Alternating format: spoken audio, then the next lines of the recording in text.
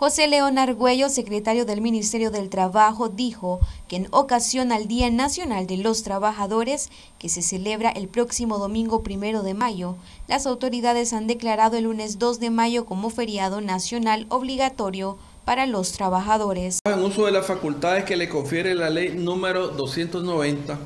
Ley de Organización, Competencia y Procedimientos del Poder Ejecutivo, y ley número 185, Código del Trabajo, en sus artículos 66 y 264, inciso D, hace saber a todas y todos los empleadores y empleadoras y trabajadores y trabajadoras del país lo siguiente. Primero, que el día domingo primero de mayo del presente año se celebra el Día Internacional de los y las Trabajadoras, fecha de gran trascendencia histórica para el movimiento obrero que sintetiza la lucha por las reivindicaciones de la clase trabajadora. Por ello, este día es feriado nacional obligatorio con derecho a descanso y salario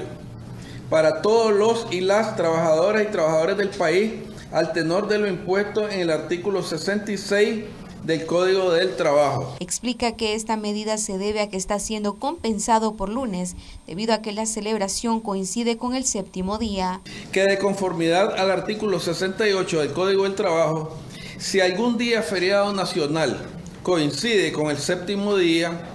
este será compensado y al trabajador que labore se le remunerará como día extraordinario de trabajo.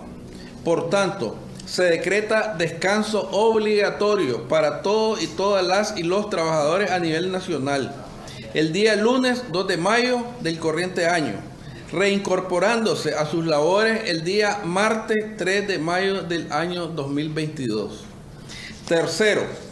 de acuerdo a lo dispuesto en el artículo 69 del Código del Trabajo, se exceptúan los trabajos que no sean susceptibles de interrupción por su naturaleza o por la índole de las necesidades que satisface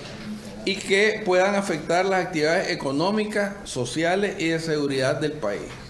Las labores serán retomadas el día martes 3 de mayo del año en curso. Para Noticias 12, Gabriela Solórzano.